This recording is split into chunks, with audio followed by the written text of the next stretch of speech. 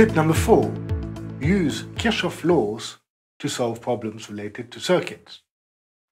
So just a quick reminder what Kirchhoff laws are. The first law is the conservation of charge.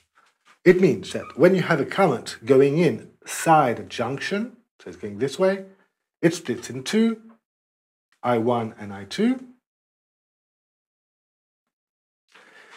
The first law of Kirchhoff says that the sum of the currents going in equals the sum of the currents going out. The second law of Kirchhoff states that within a loop, the sum of the potential differences in a loop equals zero. What does this mean? Well, if I have a circuit with different elements, so a current like this, it says that the sum of all the potential differences when I go around the loop equals zero. So here it would be the EMF minus V1 minus V2 equals zero. Now, these two laws allow you to find uh, uh, relationships in a circuit. I'll give you an example.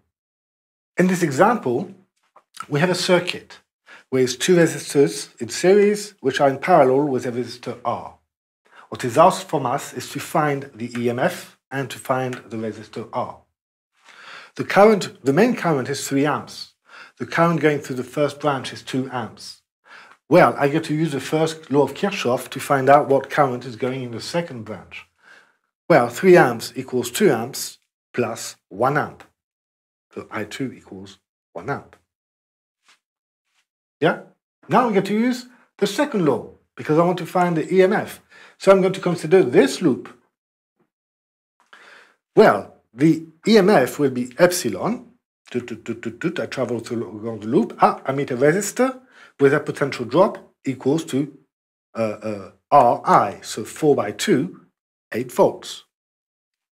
I continue my trip and I find another potential drop. The current is 2 amps, the resistor is 5 ohms, so minus 10 equals 0. And that will give me the EMF 18 volts. Now I need to find the resistor R, where I can again use the loop law. Let's take, for instance, this small loop.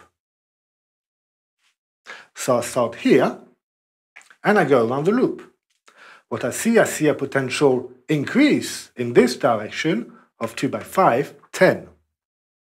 I continue, 4 by 2, 8, plus 8.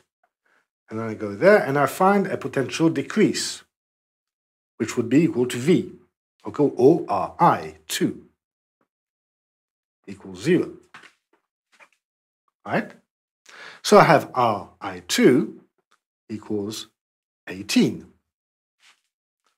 I2 is 1 amp, so I know that R equals 18 divided by 1, 18 ohms.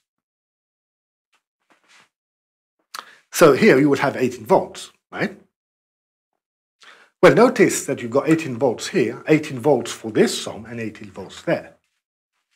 This is also a proof to see that to see that when you have two resistors in parallel, the potential drop across them is the same. So Kirchhoff laws have got a huge amount of resources to solve problems. Remember them.